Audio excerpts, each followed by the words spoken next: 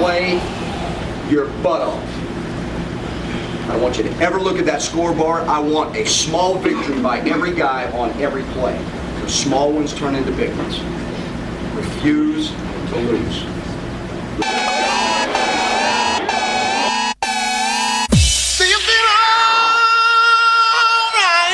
Christensen hands to Young. Off the right side he goes. Nowhere to go. It's a loss on the play. Back to the 16-yard line. Ahtyba Rubin, the first one in. Curtis Taylor was there too.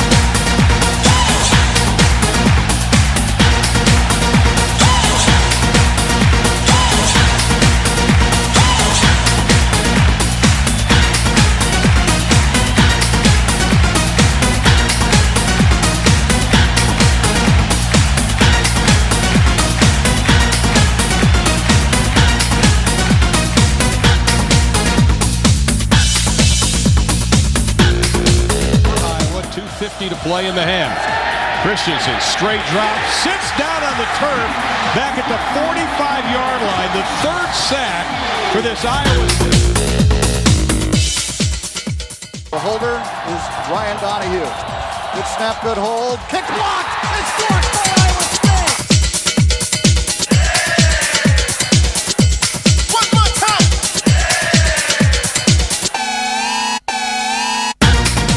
to be a part of probably the biggest uh, rivalries in the in the history of college football. From the Florida Florida States to the Clemson South Carolinas to the Auburn Alabamas to the Texas OU's, been in them all. Understand the importance and the flair of rivalries. In the state of Iowa right now, they live and die and they eat, sleep, and drink that game. Meyer looking to his left, throwing it deep, intended for Philip Bates, and he has the catch! At the 25, spun down at the 18-yard line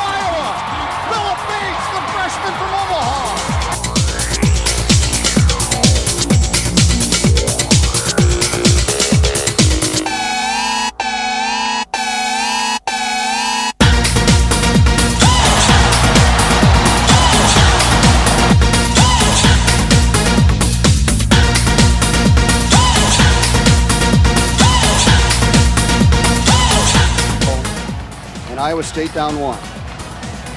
Good snap, good hold, kick on the way by Culbertson. He knocked it through. Shaggy made it.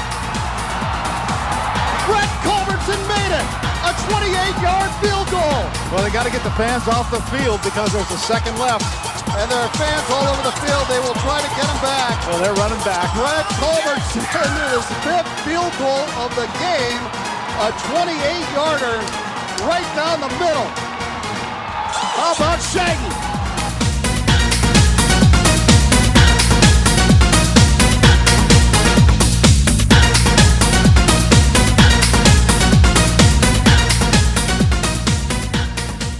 Can you just put this into words? What does this mean to you?